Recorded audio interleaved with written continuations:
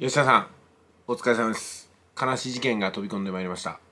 え昨日のことなんですけどもザ・ドリフターズの中本浩二さんが交通事故に遭われたというニュースは入ってきたところだったんですけどもその後そのままお亡くなりになったそうですね、まあ、ドリフターズのメンバーもこれで、まあ、3人目ということなんですけども順番に、えー、この世からね、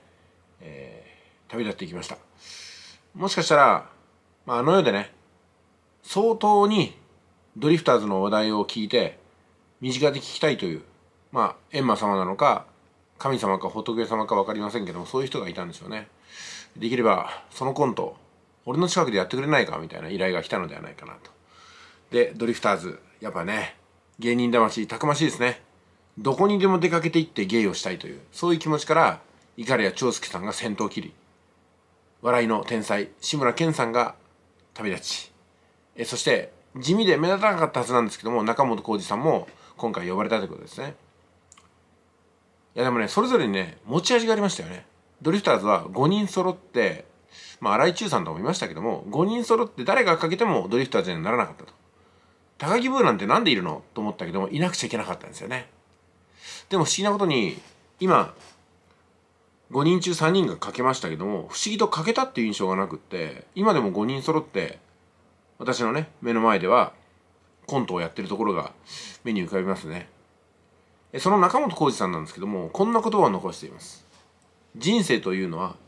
やりたいことができなくなった時が出発点だと思う。ね。いやこれはね私はねよくわかりますよ。人生ってのは何もかも思い通りになった時が人生の始まりだっていう考え方もあるんですけどももう一つやりたいことができなくなった時そこからが人生に対しての格闘が始まるんですよね。人生ってのはどんな対戦相手よりもきついパンチを食らわしてきます。そのパンチってのは自分の内側から出てくるんですよ。なぜそれができないのか。なぜそれがわからないのか。なんでトラブルに巻き込まれるのか。原因は全てその真ん中にいる自分自身がどうだったのかってことなんですよね、まあ、もちろん自分の選択によらない不幸もあるでしょうけどもでもそれを論ずるよりも早く自分で何とかできる。選択肢を選び間違えてること。こちらの方を紐解いていかないといけないのかなと思うんですよ。中本浩二さんね非常に惜しいながらも仕方がないですよね。ドリフターズの面々も